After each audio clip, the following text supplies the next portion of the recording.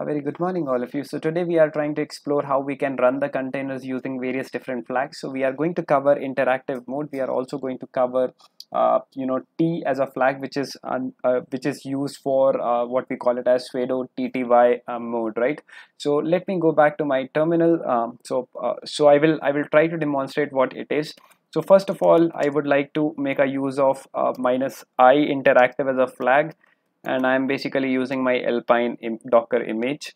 So you can see that I have gotten inside the standard input of the Alpine container. If I try to do ls, you can see I am able to list all those directories. Uh, if I try to create a directory, let's say uh, cyber, I have created this particular directory and so if I try to uh, navigate to this particular directory now I am inside the cyber directory. But you can see that we do not really have access to our prompt and the formatting is not very very user friendly if we try to list all the directories right? So let me try to uh, just give me a sec. Echo let's say hello.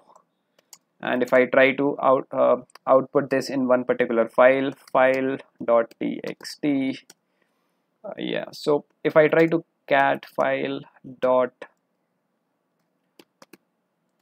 so you can see uh, the output of that particular file right? So uh, now here if I try to use uh, control C uh, you can see that uh, I'm not able to use that particular command and I'm still inside the standard input of our container alpine. So if I really wanted to exit from um, this particular container I can use this but it will also terminate the container right so now the term uh, uh, now the container is terminated. So uh, this is uh, we have uh, I think now uh, we are familiar with the interactive mode. I will clear my screen. If I try to docker ps the container is no longer running. Docker run so this time we will be running the container let's say in the tty uh, TTY mode, right, which uh, which represents uh, this T as a flag, right.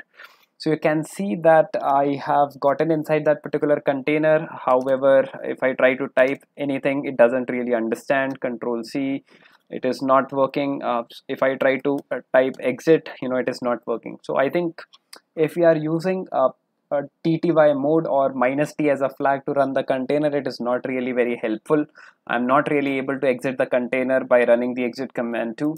So now if I try to do docker ps, you know, you can see that Alpine container is running. Uh, so unfortunately, I need to make a use of the another tab so to terminate this particular container Alpine and which we have executed in uh, uh, which we have executed using the minus t as a flag right?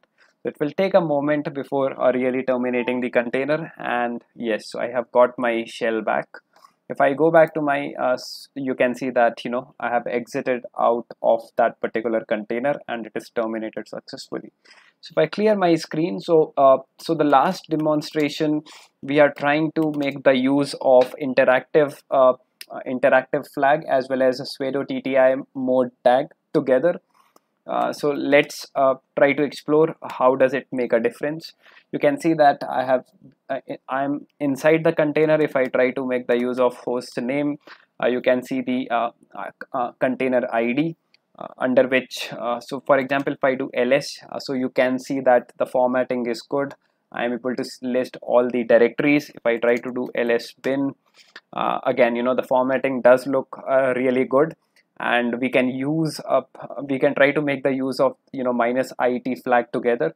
So it is working as expected or you know the formatting is good. I'm i'm basically making the use of my prompt.